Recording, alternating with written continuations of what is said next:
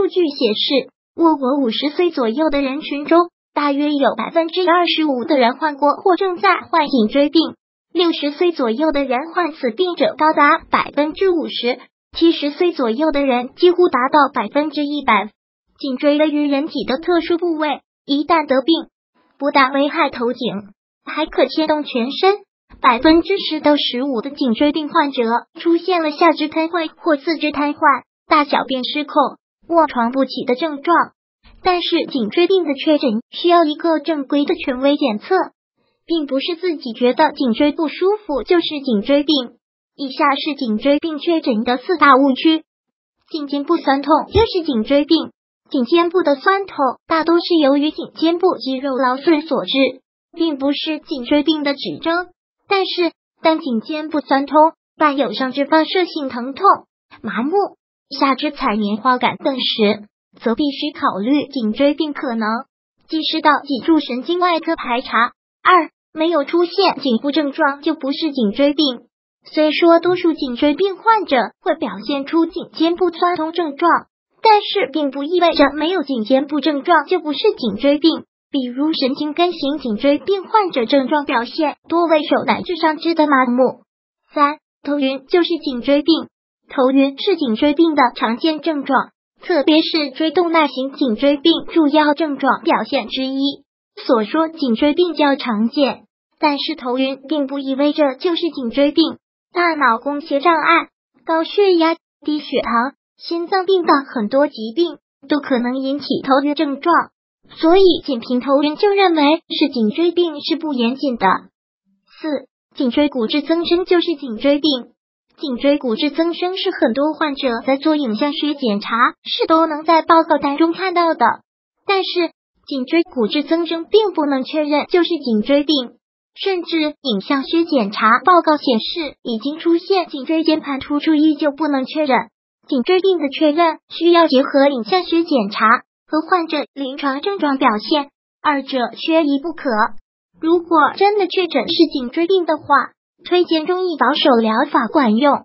目前世界上对于颈椎病的一直是一个巨大的难题，不论是手术还是西药。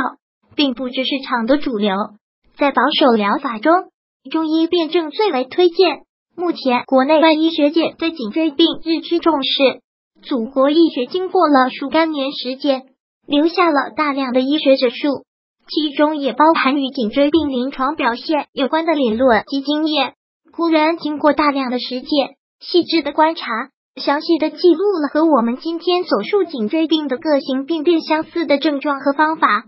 其中配方：马钱子、天龙、炙草乌、赤芍、当归、透骨草、正牛膝、樟脑等中草药熬制而成的膏药制剂，平回糖筋骨贴，安全有效，百年名家秘方传承，对颈椎病有着非常显著的疗效。